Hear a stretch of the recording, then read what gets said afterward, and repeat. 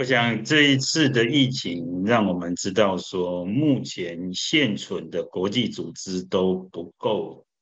有能力来应应这样的大流行，因为大流行要能够尽快的把它控制，就是啊资讯的传递要非常的公开，然后啊全球要采取一致的这个防疫的呃步调，但。世界卫生组织显然在这一次里面是啊没有达到这个目的。那里面有很多的原因，其中一个是它组织本身造成的，一个就是说传染病防治条例呢是不够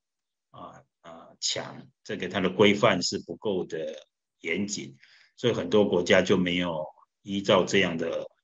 法律上的要求呢去跟别人分享这个疫情。好，那。啊，这是要赶快去改的，所以呃，要能够呃，引领下一个就是国际组织要改革，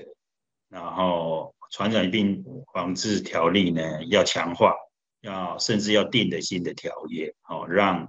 啊疫情的源头可以很快的去了解。那到今天为止，新冠的源头还是没有答案呢，哈，到底是怎么起源的？所以这个是一个无法回避的问题。假设我们要迎领下一次的这个疫情呢，我想很重要的一件事情就是说，怎么样大家合作，然后抛开或是克服政治上的或国家之间的纷争呢，可以对于人类共同的敌人，像病毒，能够从它的源头，哦，就很快的能够集合世界上有能力去调查清楚的人。赶快把它调查，调查不是为了来追究责任，是这样才有办法赶快把它控制。所以我想这个是呃必须要做的啊。如果是在啊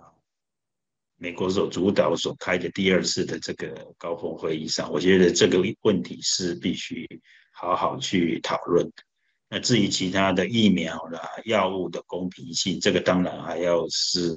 啊继续去。做出一个有效的一个方法来来来执行。